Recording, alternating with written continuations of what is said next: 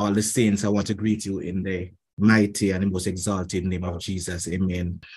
Amen. All, all the saints, all the visitors, I want to greet you tonight.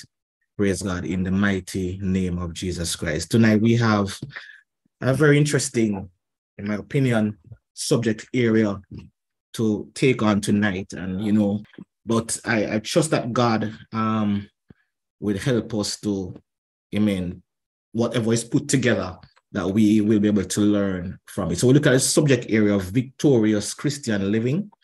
And I really think it's an interesting subject, amen.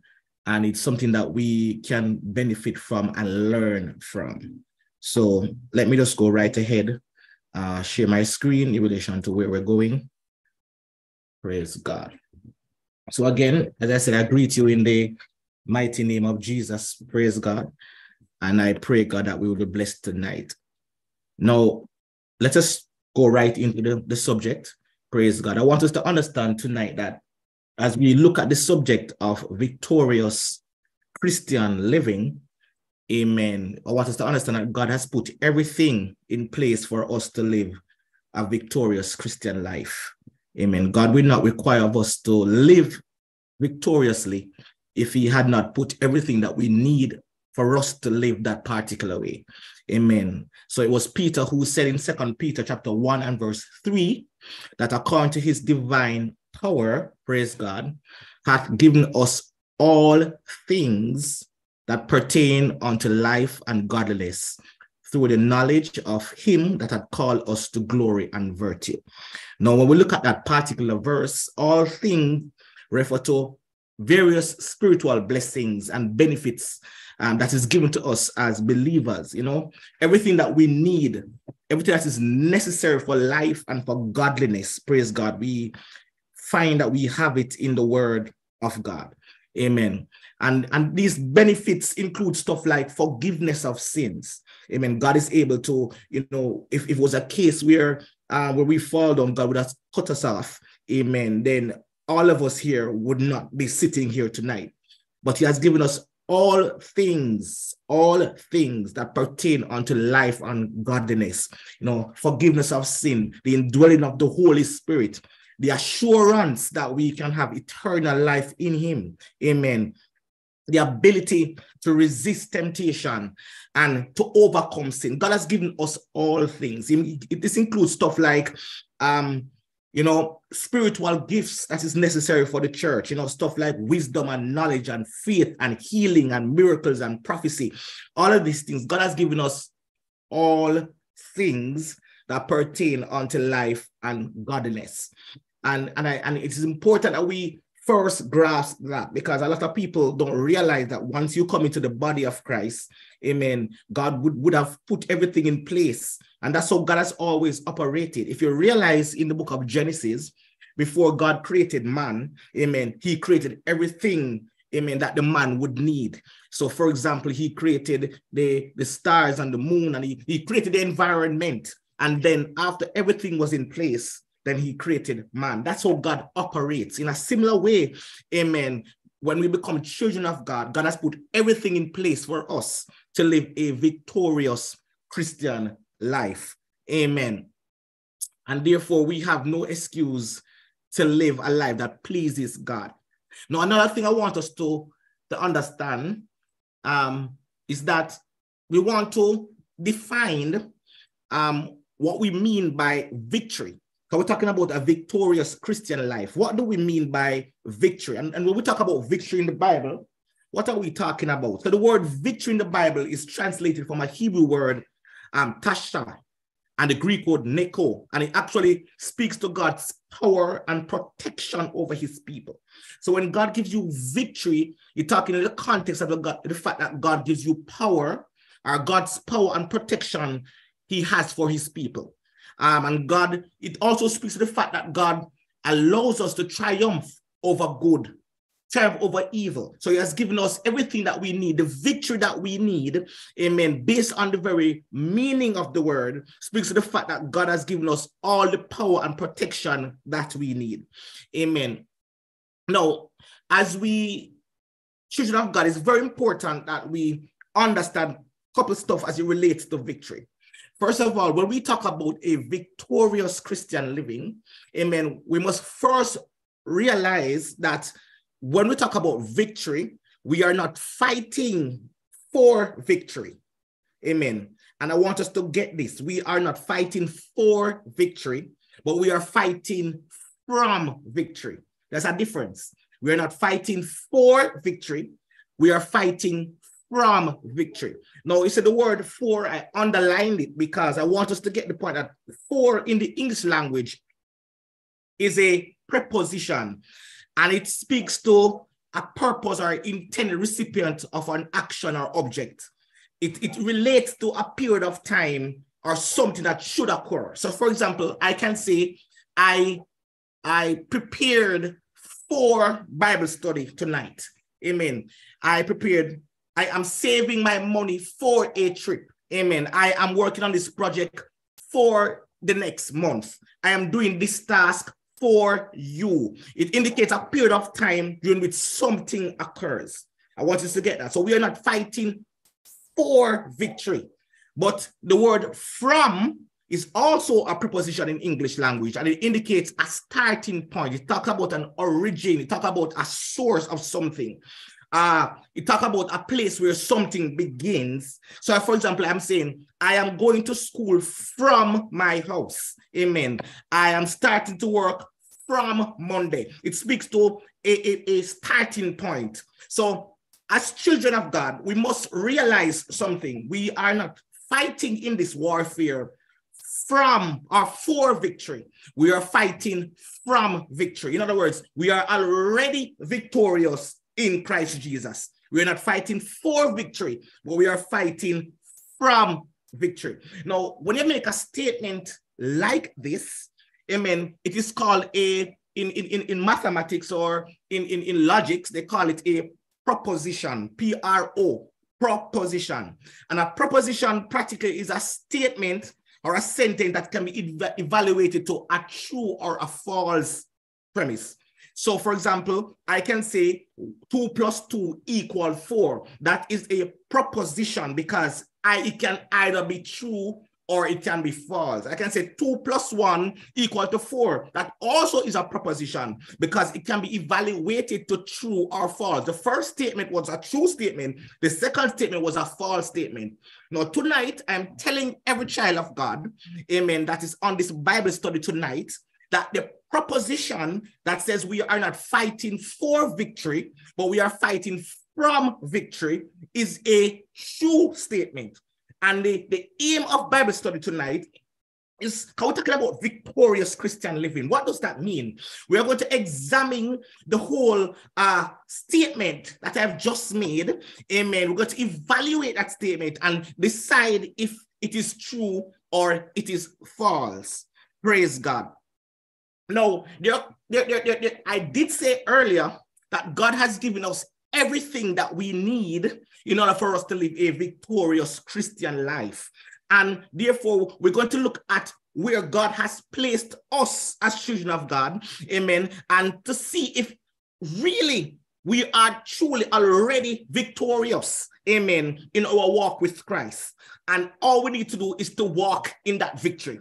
Now, let us try to look at some things. Firstly, in order for us to be victorious, I am saying as children of God, I strongly believe that we are a part of in of, of, an army. We are in an army.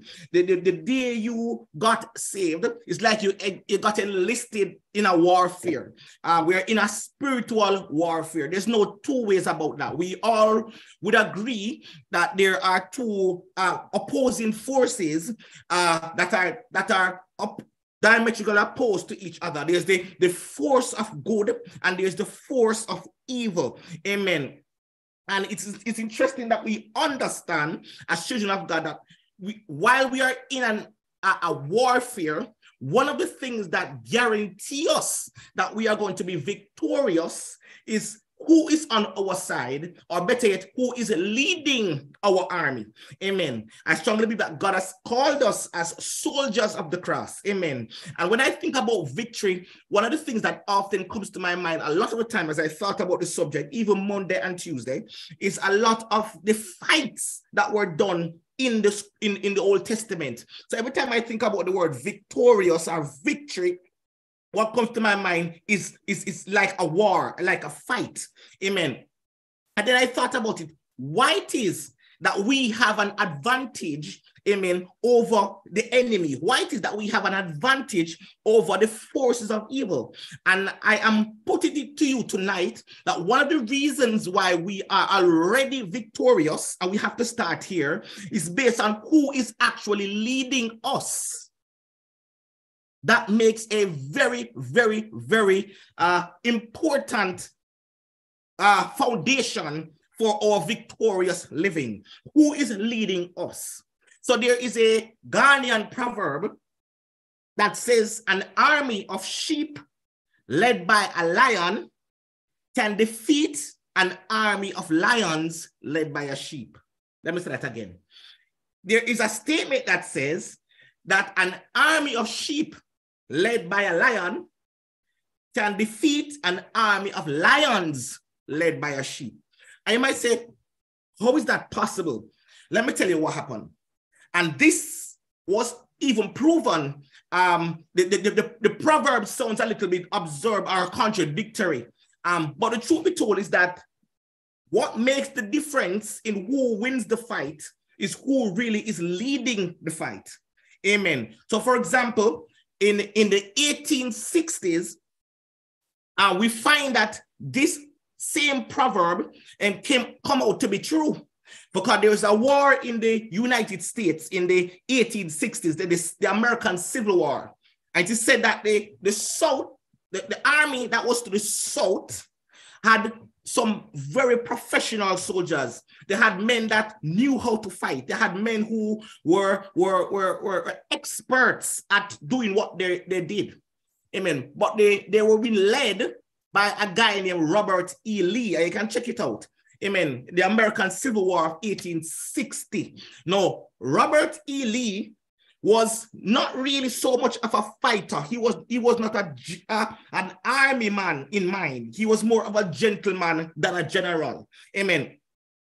And guess what? In the north, so in the south, you had professional soldiers, but who was leading them? Robert E. Lee, who was a gentleman, not really a fighter, but he was there. He was the person who was leading that army in the south. Now, in the north, you had fewer trained soldiers. You had men who were not as skilled as them in the south. Amen. But who was leading them in the north? A guy by the name of General Ulysses Grant. And he, this guy was practically very wise when it come out to warfare, and he was wise when it come out to fighting battles. Now, one would have thought that the army in the south, which had the more skilled soldiers, would have won. But because of the skillfulness of the person who was leading in the north, he was able to lead these set of unskilled, fewer trained soldiers, and they won the battle. You can take it out, the American Civil War in the 1860s. So I'm saying to you, one of the reasons why we have the victory and we are coming from a position of victory is because of who is actually leading us. It's a paradox, but who really is leading us? Amen. And without the shadow of a doubt, we fully aware that the quality of an army does not lie really in its manpower, but really in its leadership. And the Bible uses many verses and passages to reveal the identity of the leader of who the church is. When you when you become a part of the body of Christ, amen. The person who is leading the army, the person who is assuring us that we have the victory is Jesus Christ himself. So, for example, Colossians chapter 1 and verse 18 says, and he, talking about Jesus, is the head of the body, the church, praise God, who is the beginning, the firstborn from the dead, that in all things he might have the preeminence. Ephesians chapter 1, verse 22 to 23 says, And he had put all things under his feet and gave him to be the head over all things to the church, which is his body, the fullness of him that filleth in all. Ephesians chapter 5, verse 23 says, For the husband is the head of the wife, even as Christ is the head of the church and he is the savior of the body. So, what we realize is that the person who is leading the army, amen, is Jesus Christ himself. And because of who is leading the army, then victory is guaranteed to the persons who follow under his leadership. Amen. Again, we look at the fact that many metaphors are used for God towards scripture, and they, these each metaphor will bring out different aspects of the character of God. Amen. You know, for example, the Bible calls him an eagle in Deuteronomy chapter 32. Amen. And the eagle they always use represents God's protection and care for his people. The Bible calls him an ox in Jeremiah chapter, I think, 46, 21. And it represents God's strength and power. He's called the Lamb of God in St. John chapter 1, 29. Behold, the Lamb of God, which taketh away the sin of the world. But one of the, the things that jumped out to me is that he is also called the lion my God. Let me go back again. An army of sheep that is led by a lion can defeat an army of lion that is led by a sheep. And God, who is the lion, who is referred to as the lion, amen, will lead us. The use of the metaphor lion in the Bible depicts God's immense strength and power. Praise God. It's a symbol, it's a symbol that is commonly associated with power and authority. So in many cases, we find in scripture where Jesus or God is referred to as a lion. So, for example, in Isaiah chapter 31 and verse 4, it says, For thus hath the Lord spoken unto me, like as the lion and the young lion roaring on his prey when a multitude of shepherds is called forth against him, he will not be afraid of their voice, nor base himself, amen, for the noise of them. So shall the Lord of hosts come down to fight for Mount Zion and for the hill thereof. So in Isaiah chapter 31, verse 4, the Lord is compared there to a lion. And guess what? This lion is not afraid of the noise made by a group of shepherds. Irrespective of what the enemy comes with, I mean, we have a lion that is leading us who is not afraid. Amen. The verse in Isaiah chapter 31 and verse 4, the Lord of hosts or the Lord of his army is said to come down to fight for Mount Zion. I like the verse which is a symbol in the scripture of Jerusalem and the Jewish people. But the metaphor really emphasizes the strength and the power of the Lord, who is not at all intimidated by those who oppose him. It doesn't matter what the enemy tries. Amen. God is not intimidated by those who come against him. It, the verse also suggests that the Lord will protect and defend his people, just as the lion will defend its prey. So here it is that we see Isaiah speaking about Jesus, God the Almighty, as a young lion roaring amen, as a lion and a young lion roaring on his prey.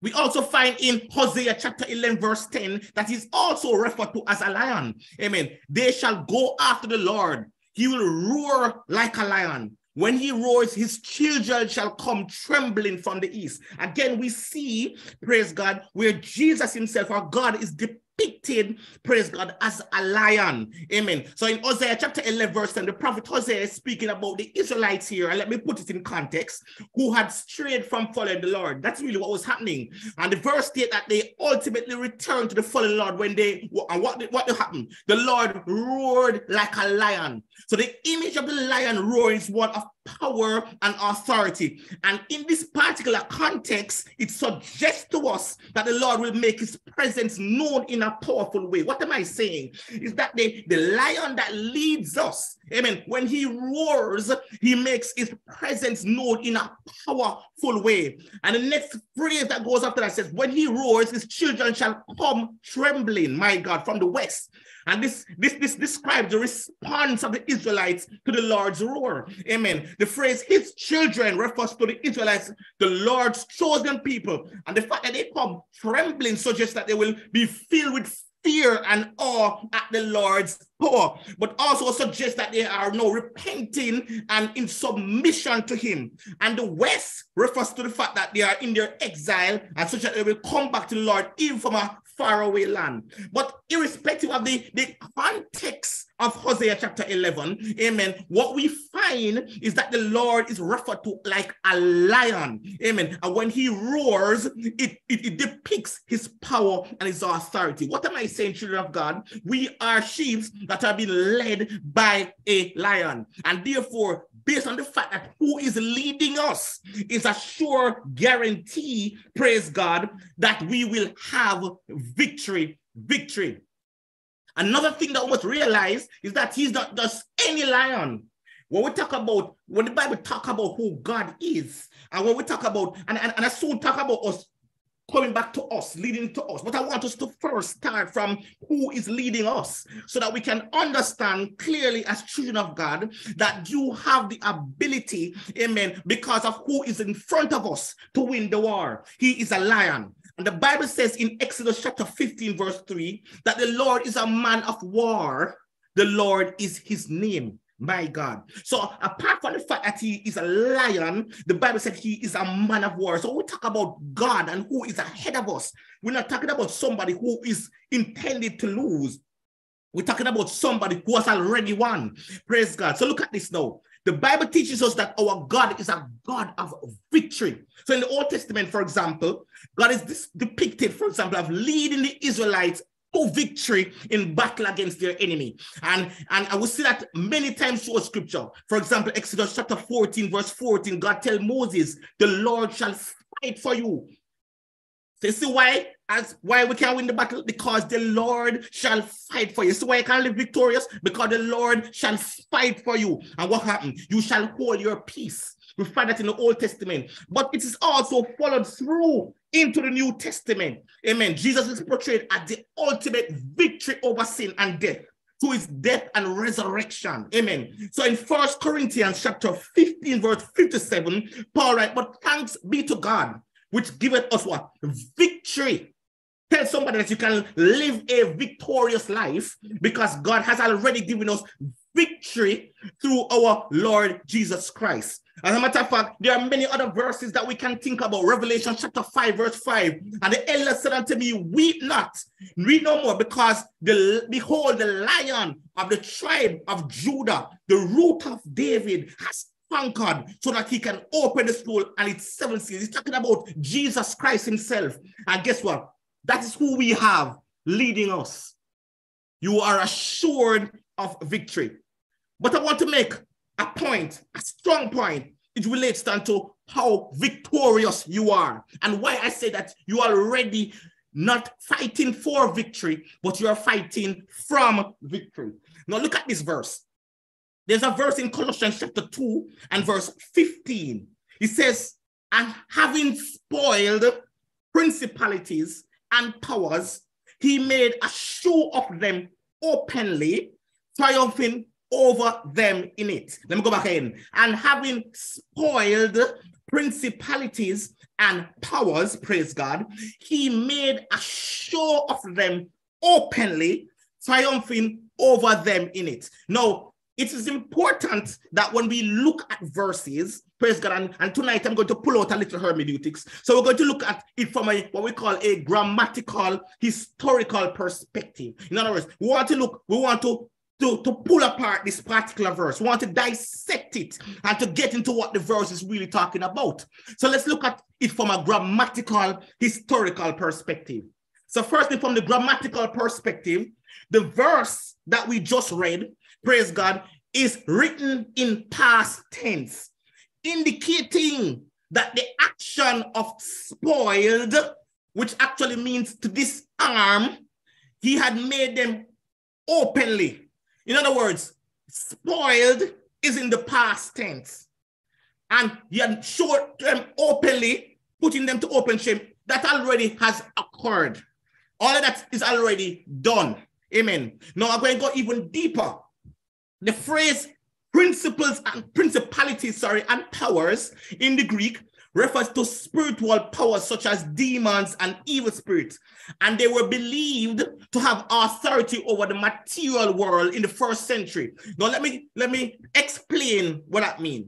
Now, you see, in the Greco-Roman society, amen, they, they, they were polytheistic in their type of believe in their religious system. So they believe that there was a God who controlled various elements. They believe that there was a God who controlled the weather. They believe that there was a God who controlled crops and fertility. And they believe that they had, in a similar way, you had demonic spirits who had control over specific human life, certain parts of your life. So they, they had control over disease and misfortune. You know, they also believe that the, the natural world was full of unseen forces that could affect human affairs. They believe that these forces could be influenced by supernatural beings, both good and evil, and they could invoke uh, uh, this, the ma magics and so on to get these beings and these demons to, to, to operate in a particular way. In other words, these, these, these demons and these evil spirits um, they, they, they, they, practically had influence and great influence over the material world, over human lives. Um, so that's what they believe. They believe that the power and the authority of demons and evil spirits in the first century world was a reflection of, of what was taking place in their time. They believe that they, they the first the first century people, Greco-Roman world, believe that look here, um, the, these demons had total authority over the material world. Now, I want you to bear these things in mind. So, firstly, the verse is written in the past tense. You know, action is, is spoiled or he disarmed, uh, and, and he did it openly, which means that already occurred. And look at the Greek word for principalities and powers, talking about demons that had control in their minds over the material world. Now, let's go deeper in the grammar. In the verse that we look at, there are two verbs that are used that have great importance. I want to pull them out. The first verb that we just spoke about was spoiled. The word spoil there in the Greek actually means to strip. It means to disarm. It means to make powerless. And the other verb is the practically word talking about making a show of them openly. That's that that was one uh word in the Greek, which actually put to open shame. That's what it means. Or to mean to make a public spectacle, or to bring to shame, or to disgrace. Now, I want you to understand something. In the that society, in the first century, in the Greco-Roman society, when they talk about putting somebody to open shame, what actually means, it means to is a way of to humiliate or to degrade uh, people that you have, are armies that you have won in battle. So it was, it was a form of psychological warfare then. The intent was to break the spirit of the defeated enemy and to, to ensure that there was no resistance. Now, what they usually do is that how they, the soldiers would put them to open shame is that they, they would catch, for example, when they go into a place and they win the war, I mean, sometimes if they did not kill the king or whoever is in charge of the army, they would carry them um, in, back to their camp. They would carry them to their camp, chained, amen. And they would actually, they would actually put them in that embarrassing position, probably undressed. They would humiliate them. They would, they would, they would strip them of everything they have, and they would lead them and parade them through their town, um, showing that they have captured this particular army. And the people in the streets with something, so would sometimes jeer them, amen, show, with, with further humiliate them, amen, to show that they are already defeated. Now let's go back again. The Bible says in, in Colossians chapter 2 and verse 15, and having spoiled principalities and powers, he made a show of them openly, triumphing over them in it. I said it's already gone. But what did Jesus do? When Jesus went to the cross, praise God, uh, what he did on the cross is that, first of all, he disarmed the devil. Amen. Everything, every authority that the devil thought he had when Jesus was crucified and he died, buried, and he was resurrected. Amen. He dis disarmed the devil. Not only did he this just disarm the devil, but he put him to open shame in the sense that he, before the whole host of heaven, before every demonic force that exists, we could see the devil and his army on chains. Amen. Being a humiliated state. Amen. And Jesus is saying, I made a state of them openly. So Paul is using the culture that was there in the time to demonstrate to us what God did for us. In other words, there is a psychological uh, disgrace to the enemy. So therefore, this is why when an enemy comes to you and tell you that you cannot live for God, let him understand that you already are a defeated foe. Jesus had already won the battle at Calvary. The crucifixion is seen as an act of triumph when Jesus publicly defeat the spiritual powers and held humanity in bondage. So everything that the devil thought that he had won, when Jesus died on the cross, amen, he gave us the victory. He stripped the devil. He, he disarmed him. He pulled out every power. That is why, if you don't, some of us don't even realize the power that we have. People with the Holy Ghost calling for leadership, to come to their house because their house is full of demon powers. What you don't realize is that the devil is already disarmed. And therefore, when you understand that you're coming from a place of victory, you're coming from a place from a place of victory, and that you're not fighting for victory. You can say in your house, devil, you have to come out. And the devil have to come out because guess what? He's already in chains. He's already disarmed. He's already humiliated. And Jesus made an open show of him. So we are not fighting for victory. We are fighting from victory. Because Jesus has the power to overcome death, hell, and the grave. And every opposing spiritual power have been defeated. My God. I wonder if somebody is happy about that. You already have the victory. Thank you, Holy Ghost. Now, I did say that when we got saved, we got enlisted in the army. We are in a spiritual battle. We are in a war fear. We're in a war. And there are a couple of things. So we already understand that we already have the victory. We are already understand that we are coming from a place of victory.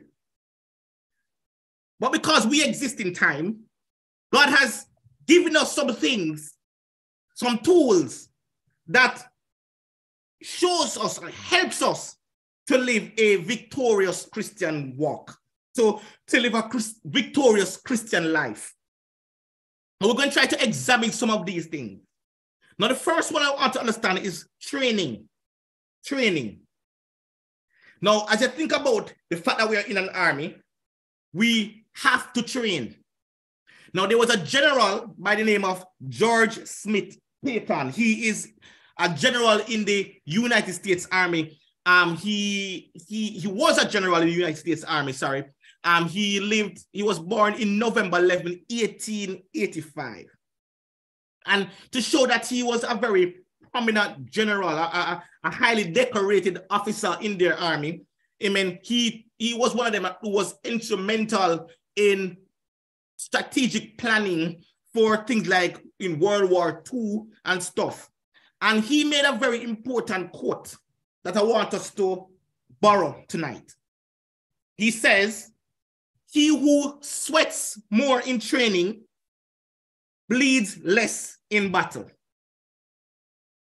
He who sweats more in training bleeds less in battle. The quote is saying that if someone works hard and puts in a lot of effort during their training, they will be better prepared for actual combat and will suffer fewer casualties or injuries. The idea behind the quote is that the more one trains and prepares for difficult situations, the better equipped they will be to handle it when it comes.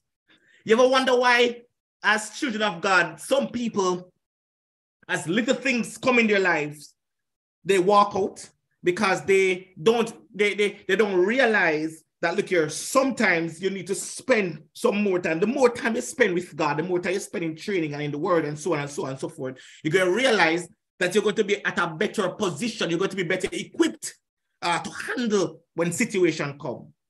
The quote from George S. Patton is advocating for hard work and prepare preparation as a way of increasing one's chance of success in difficult or dangerous situations. Now, it's you must understand, child of God, that once you have become saved, once you have become a child of God, you're going to have situations. It's not going to be uh straight niceness. It's not going to be cloud. You're not going to be on cloud, cloud in heaven all the time. In the sense that you're not going to have nice life all the time. You're going to have situations where things are going to seem hard. But we can have the victory by ensuring that we are trained to deal with the situation. So it is really ridiculous, even in the physical, to send a soldier to battle without basic, even basic training. It would be ridiculous and will result obviously in defeat. So the Bible says we must endure hardship as a good soldier of Jesus Christ. Remember, I told you now we are like enlisted in the army. We're talking about victorious Christian walk, victorious Christian living. Now, one of the things I am happy for is that it is God, amen, who actually teaches us how to fight. That is why when you become enlisted in the army of God, you submit yourself to Him. So David says, Look here, blessed be the Lord. And he starts, I think, Psalm 144 the Lord my strength, which teacheth my hands to war and my fingers to fight. Now let us just look at this a little bit. The word teacheth in the verse is in the past tense. You know, God, David's hands to war and his fingers to fight. God did not just teach David in the past tense, sorry. Ah, uh, let, let, let me say it again. God did not just teach David hands to war and fingers to fight. And, and if I say he teach, that would be past tense. But David used the what we call the present continuous tense. That's the term. So when you say teacheth, it's in the present continuous tense because as long as you are in the Lord's army, you are always learning. He is teaching us every single day how to war. I'm going to look at this as we go through and show you that, look here, to become victorious in our Christian walk, we're going to realize that every single day, the situations that you come upon, the hard times, the struggles, the, the, the backbite, and whatever it is that reach you at different points in your life, you're going to realize that it was always, as long as you have been submitted to God, you're going to realize that it was the Lord who was teaching you your hands to war and your fingers to fight. Praise God. Amen. God did not teach you one day and leave you, but your teaching is progressive. Your teaching is continuous. Just like I spoke about spiritual maturity, which is continuous. In a similar way, amen. God is teaching or teacheth, which is the present continuous tense, your hands to war and your fingers to fight. Now, there are certain areas, and the truth be told, we, we, if we should go through every single area where we were learning, we would have we would have not ended the lesson tonight. But there are three basic areas of training that I think is very important for every child of God. One, you must gain knowledge and understanding of the word. Number two, you must have self-discipline. And number three, you must learn to interact with the rest of the body of Christ. So the first area that guarantees that we have victory is our training. How you are trained. And who is training you? God. Michael, Jesus himself. So we gain knowledge and understand the word. This is like the foundation of the Christian training. This is the foundation of you being guaranteed victory. So Christians might study the Bible on their own or in a group setting, or you go Bible school, or you come to Bible study. But the goal of you looking into the perfect law of liberty is that you can understand what the word of God is saying and that you're able to apply it to your daily lives. So we're going to look more at these things, but our first era of training is that we must gain knowledge and understanding of the word. Never be satisfied with where you are in the world. It doesn't matter how much things you think you know. Amen. There is always further to go. It doesn't matter how much things you think you have learned over the years. The word of God is alive. It's a living book. Amen. And guess what? It is God Himself. And one of the things we learn about God is that God is infinite. Amen. Talking about your, your infinity means there is no beginning or ending, which means that once you are in the book, you are ever learning, ever learning, ever learning, ever growing in God. The second training area is that is of self-discipline. Once you get enlisted, amen, in the body of Christ, in the army of the Lord, you have to have self-discipline. Many Christians believe that developing self-control and self-discipline is an important part of their spiritual training. You must get that. And this includes stuff like fasting. Amen. Fasting. Do you fast like once a week? Do you fast like uh three three days every quarter, whatever it is. But there have to be a season of fasting and praying and meditating. And, I, and I'm jumping over this because there I'm going to go a little deeper in some of these things. So praying and fasting and meditating and setting boundaries you have to have these things self-discipline. That's a part of your training. Amen. So you have to one, get a knowledge and understand of the word. And through that, you develop self-discipline by learning how to fast, and how to pray. And if you don't know how to fast, you can reach out to your pastor and ask him how to help you. If you can do a six to six, they can do a full day, they can do two days, but you learn. You learn how to meditate because it's not just reading the word. Sometimes you have to sit down and let God speak to you. I'm going to talk about that and set boundaries for yourself as a child of God. Amen. Amen. You have to set boundaries. If you stand for nothing, you'll fall for anything. Praise God. You have to set boundaries as a child of God. And thirdly, you learn how to interact with the rest of the body of Christ.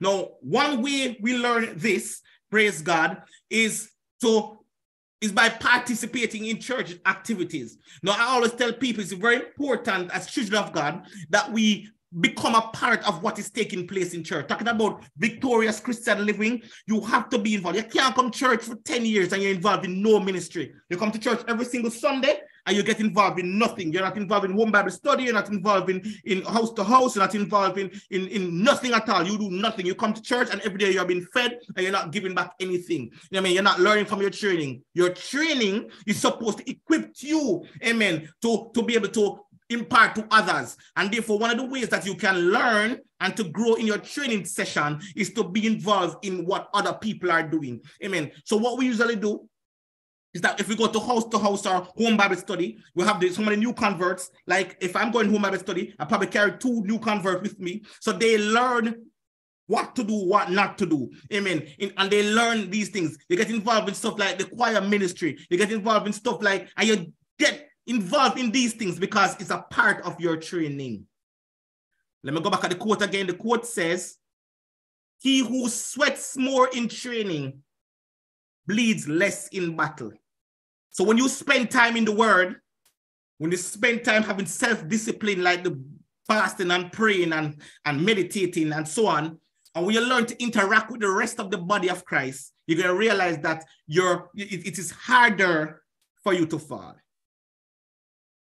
Now, apart from the fact that you are training, when you are training, God not only does train you and leave you up, but He has given you weapons that are very powerful for your warfare.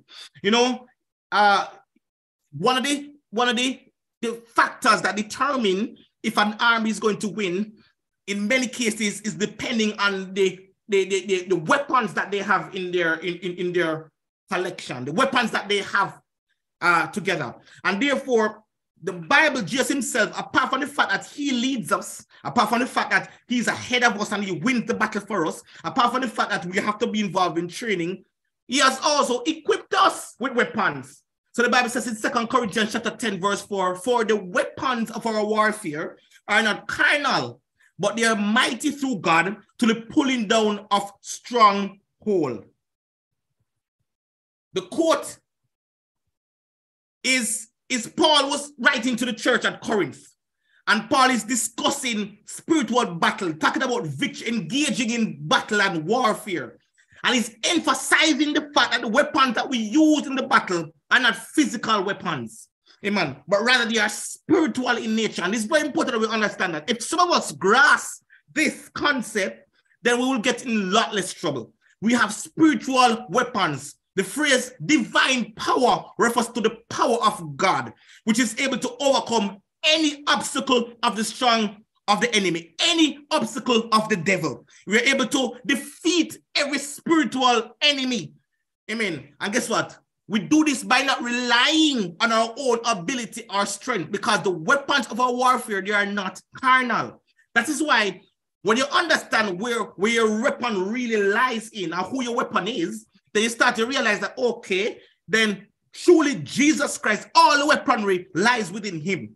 That is why in Jude chapter 1, verse 9, the Bible said, Michael, the archangel, when he was contending with the devil over the body of Moses, the Bible said he brought no uh, real accusation against the devil. But him just say, the Lord rebuke you. In other words, he appealed to an authority that was higher than himself. Amen. Now, there are many things I could go into angelology and tell you what this means, but the what stood out the most to me was that he was able to use weaponry of who the Lord is. The Lord rebuke you. Sometimes we need to understand that our weaponry is not physical weapons. Some of us cuss too much, argue too much when we should be praying more. Amen. The weapons of our warfare are not carnal, but they are mighty through God to the pulling down of stronghold. Now let's look at some of the weapons that God has given to us. And so before in the verse, Paul is encouraging the Corinthians to rely on spiritual weapons rather than fleshly weapons to defeat their enemy. And the word stronghold refers to strongholds of the mind where people can hold on to false beliefs and attitudes. So the weapons of our warfare and are mighty to pulling down of strongholds. There's some things that will come to your mind that will keep you in a place that look here, God can't do this. It can't happen. It never happen. But the weapons that we have in God can pull down the strongholds of the mind, the false beliefs and the false attitudes and the wrong attitudes. The weapons of our warfare helps us to overcome that and to walk victoriously. So weapons of warfare are key tools that believers can use to defend themselves against spiritual attack of the devil, to resist the temptation of the world, and to live, brethren, a victorious Christian life. Now let us look, as before, at some of the warfare weapons that God has given to us. One again, we'll go back again to the word of God. The word of God is quick and powerful sharper than any two-edged sword, piercing to the dividing of sunder of soul and spirit, and of joints and marrows, and is a discern of the thoughts and the intents of the heart. Hebrews chapter 4, verse 12. Now, Bishop Daly always tell us in our Bible study about the two-edged sword, and I think he preached that at Bethel. I won't go over it here, but practically it was a special type of sword that when it goes in, it does two things. It cuts on two sides. Amen. And it was it, it was developed by the Romans. It was a special type of sword that, that did extreme damage. That's what you do when you have the word of God. That is why when the devil came to Jesus, he could say, It is written. What he was he doing? He was pushing in the sword. Another thing is that another weapon that we have is faith. So, so we walk by faith, not by sight. You know, tell me something. When you have faith in God, amen, it means that irrespective of how the situation looks, I am trusting God that God is going to bring me through. That's what the Bible says the just walks by faith and not by sight. In other words, it's not what I see, it's not how it looks. I mean, it's what God says. It's not what the, it, the situation looks, it's what God says. And that's where it's, it's, very important that we understand what God says. I'm going to talk about that. Then we talk about the armor of God which is another weapon. Put on the whole armor of God that you may be able to stand against the schemes of the devil or the wiles of the devil. Amen. And we know that scripture well, so we won't even try to go into all of that. But we know that each armory, praise God, is was developed, amen, so that we can have the victory over the enemy, the breastplate of righteousness, the helmet of salvation, the, the shield of faith, the, the, the, your, your, your, your, loins girded about with truth. You, you have on the the, the, the shoes of peace. Amen. Are, are your feet preparation, prepare, um, set with the preparation of the gospel of peace. Talk about the sword of the spirit. And all of these things are, are used, are given to the child of God as weaponry for us to overcome the enemy. Now, there's a weapon that we don't realize how how very, very important it is. So I run through this because of time, but I want to spend a little time on weapon number four. Now, weapon number four is prayer. We're talking about victorious Christian walk. What prayer is a weapon that you, if you get into prayer, then you would you, you would you, you, you wouldn't even begin to understand the things that the victories that you would have in God. Now, there's an article that I read uh, about an American soldier. And he said the most important tool he had while he was at war in Afghanistan was not really his God. His God was important. Yeah. It was not his, it was not his, his, his, his tank or whatever. What the most one of the most important tool to him was his radio. You know, so I put a radio on the screen. Why? Clear exchange of information is vital to any successful military operation. So there's a saying in the military that says, knowing is half the battle. So we need to understand in this warfare that the devil's aim is to get you to really to stop listening to the voice of God. Because he knows that once you know, as, as the soldier said, when he was in Afghanistan, he could have communicated with the commander in chief who had an eye on what was taking place and who was where and who was located where. And therefore, one of the things that the devil tried to do in this season is to get us at a place where we stop listening to the voice of God. If the devil can get you to stop hearing the voice of your commander in chief, which is God, then guess what, brethren? You have lost the battle. Let me say that again.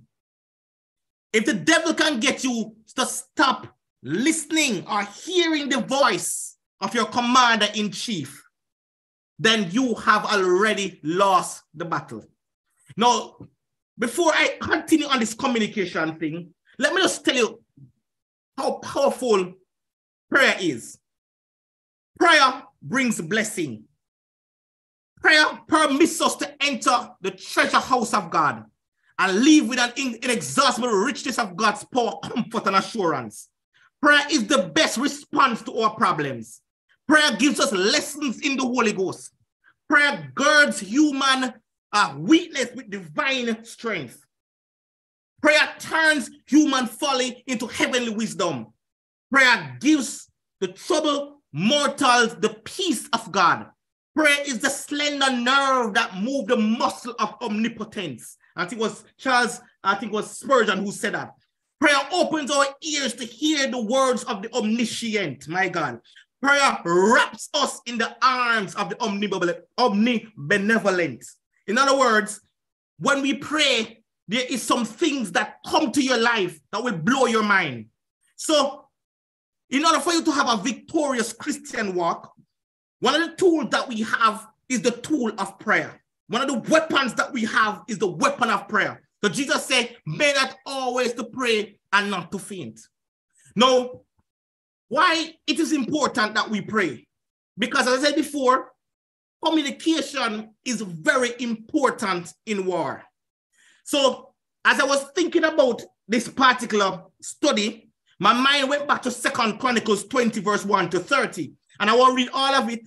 Now we're going to look at from verse 1 to 4. It says, It happened after this that the people of Moab with the people of Ammon and others with them beside the Ammonites came to battle against Jehoshaphat. Then some came and told Jehoshaphat, saying, A great multitude is come against you from beyond the sea, from Syria, and they are in Hazazon Tamar, which is Engedi.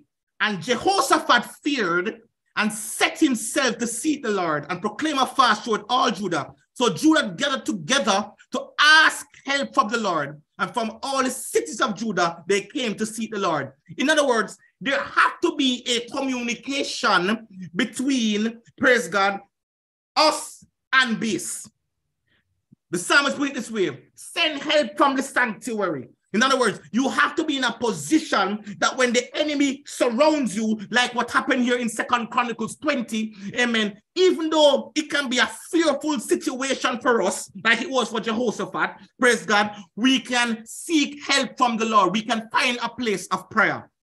Now, I want you to understand that communication, when you talk about communicating as a weapon, we normally communicate from a place called there. I will say there, but that's what the Bible often referred to it. The Bible record is filled with accounts of how God directed specific people to particular location for spiritual purposes. So, for example, God told Ezekiel to arise and go to a plain, and he would talk with him where there. Amen. God uh, told Jeremiah to go to the potter's house, and there God would cause him to hear his words. God told Elijah that he was going to the widow of, of Zarephath, and there God would sustain him. That is in 1 Kings 17 9. Jacob was instructed to go to Egypt, and there God would provide for him during the famine. Moses was told to come to the mount, and there God would give him the law. It was there on Mount Zion that the Lord commanded blessing according to Psalm 133, verse 3. And there are many other verses that we can talk about. Amen. We talk about there. But the important point is Jehoshaphat, when he realized that the armies were coming against him, he made appeal to God from a physical location. The Bible said what he did. He stood before the temple in the presence of the Lord where God had placed his name. So in other words, he went to the location. He went to the house of God. He went to where God's presence was. He went to the place where God placed his name. And it was from that location that he sought the Lord. You can look for it again in Second Chronicles 20. That was that this place, that their place that he sought God. Now the question is, where is your there? Amen. Is it a case where as a soldier in the army, amen, that you don't have a place, a place where you can talk to God? Is there a you, do you have a special place? So we must stand in the presence of the Lord and make our appeal with confidence, and He will hear and answer. There must be a place. But let me help you with that. Because a lot of us will probably think that the, the there for us in this season is, is, is, is a physical place. But let us try to bring out this point to show you that you have the victory. Did you know, brothers and sisters, that your temple that you are the temple of God. And the Spirit of God dwell in you. Notice Jehoshaphat went to the temple where God's name was. Amen. And was from there he spoke to God. In our context, our temple, our body is the temple of God where the Spirit of God dwells. As the temple of God, your spiritual being is inhabited by the Holy Spirit. Amen. Or do you not know that your body is a temple of the Holy Ghost who is in you, whom you have from God, and you are not your own? In other words, praise God, your inner being is where you stand up against the enemy. In other words, when you got the Holy Ghost and God come to live inside of you, it's from that place, that Holy Ghost place. That's why Paul talk about praying in the Holy Ghost. Where does the Holy Ghost dwell? Inside of you. The spirit man that is regenerated by the Holy Spirit through the born again experience. As long as you allow the enemy to threaten and intimidate you, he will do it. So that's why Paul said, give no place to the devil, because he knew whenever you give place to Satan, he will always take it. But guess what? There is a place there, your being, where the Holy Ghost dwell, where you can communicate and you can talk to God. Now, there is a thing about communication that we must understand too. Because a lot of us, when we talk to God, we pray we spend a lot of times in prayer. We talk to God about it. We want to walk right. We want to live right. We want God to guide us and to move us in a particular direction. But we don't spend time to move into another part of the weapon. If you can't hear the voice of your commander in chief, we said again, you have lost the battle. So, in other words, when Jehoshaphat prayed to God, amen, he didn't just pray, but he had to have a point in time where he stopped and he listened. So when you radio out as an army man, listen for the response. Hmm. So the Bible says in Second Chronicles 20, 14 to 18, then the Spirit of the Lord, way down, came upon Jahaziel, the son of Zechariah, the son of Benaiah, the son of Jeiel, the son of Mattaniah, the Levite, the sons of Asaph, in the midst of the congregation. He said, Listen, all you of Judah and you have inhabitants of Jerusalem, and you, King Jehoshaphat, Thus saith the Lord to you, do not be afraid nor dismayed because of the great multitude, for the battle is not yours, but God. Tomorrow go down against them. They will surely come up against you, uh, come up by the ascent of Ziz, and you will find them at the end of the brook before the wilderness of Jeruel. You will not need to fight in this battle. Position yourselves, stand still and see the salvation of the Lord who is with you, O Judah and Jerusalem. Do not fear or be dismayed. Tomorrow go out against them. For the Lord is with you. And Jehoshaphat bowed his head with his face to the ground, and all Judah and the inhabitants of Jerusalem bowed before the Lord, worship the Lord. Now, why did I bring this point? Note the response came to Jahaziel. Who is Jahaziel? Jahaziel was only mentioned one time in scripture, only one time. Yet the message that he brought impacted the destination or the destiny of an entire nation. What am I saying? When you speak and you pray, expect that the answer can come from anywhere. Amen.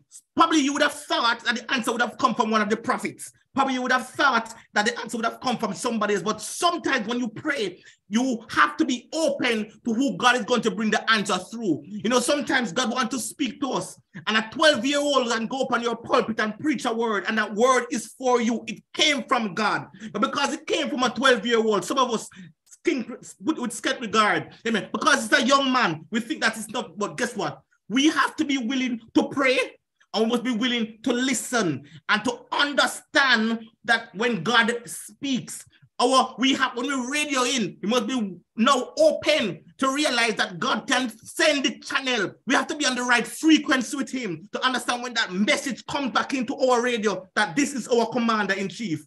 His words were pregnant with the potential of a turning point in Israel's circumstance. But to accept his message, God people must reject carnal reasoning for divine revelation. Let me say it again. God's people must reject carnal reasoning, which means that carnal reasoning means that the message can only come, amen, through elder or through, no, God might use that sister in the church, amen, that is cleaning the benches. But guess what? Because that sister is cleaning the bench, you think that God can't speak. But guess what? Our ears must be open. Sometimes we have to stop and listen. God, speak to me. I must be willing to get the message and accept the message. It's important to listen so you know where and when to move. So when Jahaziel came with the word, the name was never mentioned before. I've searched scriptures before, after, nothing about Jahaziel. This one time, this young man name come up. What did he say? He says, tomorrow go down against them. He gave an instruction. When you don't know what to do, don't do anything until you do know what to do and then act in God's timing. So it's important to listen, talking about victorious Christian walk, talking about praying, talking about radioing in. And when you don't know what to do, listen and wait for the response. I saw this thing on Facebook where a guy was saying, as long as the believers move, and it's a, God is always no, no. God is not always just no, no, no. God exists in, in, in, in infinity and eternity. Listen for when God tell you to move. God's word indicate that spiritual riches come to those who learn to wait on him. God, I am stuck in this situation. I have sent to you for help, and now I am waiting for a response from you. Psalms 27, verse 4 says, Wait on the Lord, be of good courage, and he what shall strengthen thine heart. Wait, I say, on the Lord. Noah shut the door of the ark at a specific time commanded by God. Amen. Uh, the timing is important. The death angel passed over Egypt at a set time. Jesus was born when the fullness of time came. So carnal reasoning always dictate, yes, it have to happen. No, no, no. You're better somehow. It have to happen now, because tomorrow will be too late. But the Bible says in Isaiah chapter 40, verse 31, but those that wait on the Lord shall renew their strength. I wonder if somebody could type, wait. Wait on the Lord will renew their strength. They shall mount up with wings like eagles. They shall run and not be weary. They shall walk and not faint. Tell somebody to wait. The Bible says in Isaiah chapter 49, 23, then you will know that I am the Lord, for they shall not be ashamed who wait for me. Sometimes what has happened is that we move out of turn, not realizing that victorious Christian walk means that our eyes is on our commander in chief. We are radioing in for help. He's and we are waiting on his response. Psalm 130, verse 5 says, I wait for the Lord. My soul waits, and in his words I do hope. Tell somebody to wait. Rule number three discipline, focus, and reliance. The Bible says in 2 Timothy 2 4, no man that warreth entangleth himself with the affairs of this life, that he may please him who hath chosen him to be a soldier. Amen. In other words, no soldier gets entangled in civilian pursuits. Since his aim is to please the one who enlisted him. That's what the, the Bible says in another translation. This verse can be interpreted as a reminder to say, focus and dedicated should be our should be on the one who has called us, our commander in chief. Amen. We must have discipline and self control in living a meaningful and a fulfilled Christian life. So, Paul here is using a metaphor of a soldier to illustrate the importance of discipline and focus for a believer. And the, the verb there, entangleth, is in the present tense, an active voice, indicating that it's something that someone does currently and he is doing it actively. Amen. So if you look back at the verse again, amen. No one that war it entangleth. Amen. Is in other words, is if you're in war, you're not going to get involved in the things of the world. Amen. These things are not going to move you. NIV verse puts it like this: No one serving as a soldier gets entangled in civilian affairs. Praise God. But rather tries to please his commanding officer. Amen. You know what the problem is? I believe in this this this time most of us are trying to please ourselves. That's why we have a lot of problems today, amen, with young people. That's why we have a lot of a problem even with old people, because we are living in an age where it's all about me and myself, and I'm trying to please me. I must be happy. I must do this. It's about self-love and offend and, and, and how I feel about a situation. Amen. Feelings tend to be the thing that runs the situations now. But no one serving as a soldier gets entangled in civilian affairs but rather he tries to please who? His commanding officer. My God. The commanding officer is, a, is in the singular, if you look at it in the NIV, indicating that he is speaking of one specific person. In other words, when you become deliver live victorious Christian life, your commanding officer is God. He's the one you are trying to please. Paul is encouraging Timothy to stay focused on pleasing his commanding officer, meaning God, and not getting caught up in the distractions of everyday life who can be seen as a civilian affair. Amen. That's what the soldiers do. As soldiers, we see this present life as trans uh, transitory. In other words, we're just passing through. We are not citizens of this world and certainly not civilians. We are warriors in the kingdom of God. We are fighters. Amen. We are living a victorious life and our eyes is set on him. And therefore our aim and our discipline and our focus and our reliance must be on him. Now, you might ask me why I add reliance here. Because if go back to Second Chronicles chapter 20, Jehoshaphat declared something that I want to pull out also. He says, for we have no power against this great multitude that is coming against us. No, no, we don't know what to do. Sometimes as children of God, we really don't know what to do. Situations come, we don't know where to go. But guess what? Because our reliance and our discipline and our training and our focus says we have to be uh, contact with base at all times. I mean, I'm in this war, but I'm not in this war alone. There is somebody who is leading the warfare. There's somebody that's going to ensure that I get the victory. And therefore, my eyes have to be upon him. My ears have to be open to what he has to say. Amen. I have to move when he tells me to move. I have to, when the cloud gets up and decides to move, that's the time I move. I move with the cloud. Praise God. Because my eyes are upon him. Now, notice if you look at the verse in Second Chronicles, no mention is made of Jehoshaphat calling upon the military, although he had a great army at the time. Instead of summoning his army, he declared his complete dependence on God. So 18 times in Second Chronicles chapter 20, we see the word thou, we see the word thy, we see the word thee in his prayer. Changing his focus from the problem to the solution, from me to thee. From me to thee. God is not about me. Christian, victorious Christian walk has to do with him. I said it, I started there. All about him, not me, him. Now we're coming down. Number thing, we have to position ourselves for victory. Second Chronicles 2017 says, You shall not need fight in this battle. Set yourselves, stand ye still, and see the salvation of the Lord. When things happen, we have to know how to position ourselves. How do we position ourselves? Bible says, out of the mouth of babes and suckling has thou ordained strength because of thine enemies that thou mightest still the enemy and the avenger. In other words, in, in order for us to live a walk, a, Christ, a victorious Christian walk, we have to put ourselves in a position of victory in the sense that in our minds, we already know we are coming from a place of victory. So from that place of victory is where we're going to operate. We engage the kingdom of darkness when we position ourselves in praise and worship. In other words, whatever comes my way, I'm already a victor. Praise, brethren, is an incredibly powerful tool as it creates a strong defense against one adversary. Amen.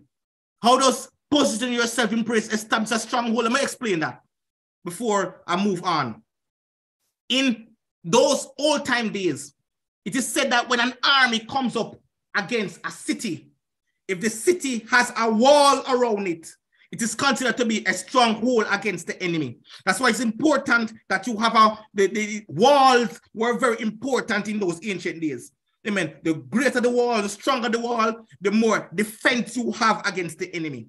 Now you have to understand something. The Bible says in Psalm 22, verse 3, that God inhabits the praises of his people. When we praise God, what we do is like God coming down and surrounding his people. It's like God uh, setting a wall around his people. When we praise God, brethren, the presence of God comes down and surrounds us. And the Hebrew word Shekinah means dwelling or settling. So, in other words, we set up a stronghold against the enemy when we praise God, because if God comes down and surrounds us, just like a wall would surround a city, praise God, against the enemy, what you have done is that when the enemy comes to attack you, what he is seeing, brethren, is the wall. Now, what is the wall? The wall is the presence of God, the Shekinah Basa, the Shekinah presence of God that dwells around you, praise God, and gives you protection against the wiles of the enemy. Can somebody begin to the praise God? Because guess what? God dwells.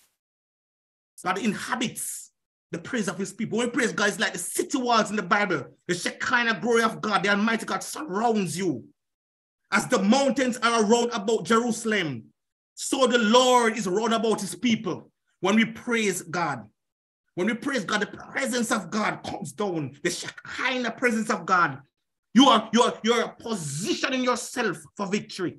Thank me, thank you, Holy Ghost. Another things that the Bible says was clap your hands, all ye people, and shout to God with the voice of triumph. When you come to church on a Sunday, you are positioning yourself. You're you're living a victorious Christian walk. Uh, I, uh, you are positioning yourself for victory.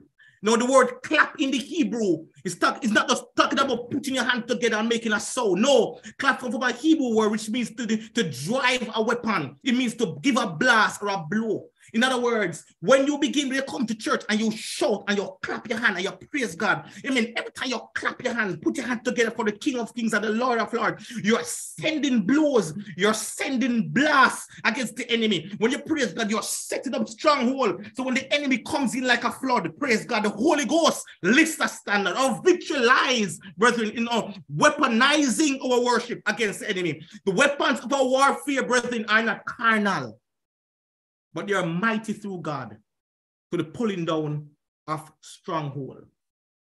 I'm here to tell somebody in closing that we are more than conquerors. Talking about a victorious Christian living. So the Bible says in Romans chapter 8 that what shall we say to these things? If God be for us, who can be against us?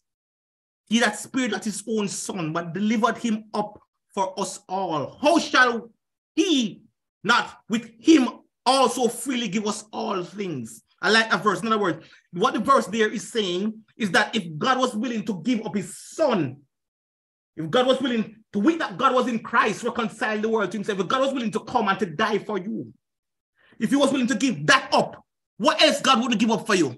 That means that you are really more than conqueror. If the ultimate thing, his life, was able to enroll himself in flesh and die for you, he will give everything else. He will freely give us all things.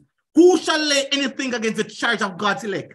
If it is God that justified, who is he that condemned? It is God that died, yea, rather that he rise again. Who is even at the right hand of God? No, Jesus is at the power of God, who also make intercession for us. Who shall separate us from the love of God? shall tribulation or distress or persecution or famine or nakedness or peril or sword. As is written, for thy sake we are killed all the day long. We are counted as sheep for the slaughter. Nay, in all these things, in other words, it doesn't matter what comes your way. It doesn't matter what happened. We are not fighting for victory. We are fighting from victory. In all these things, we are more than conquerors through him that love us. For I am persuaded. In other words, Paul is convinced that neither death, nor life, nor angels, nor principalities, nor powers, nor things present, nor things to come, nor height, nor depth, nor any other creature shall be able to separate us. My God, I'm always with my commander in chief, and he's with me. He's leading me. Nothing shall separate from the love of God, which is in Christ Jesus our Lord.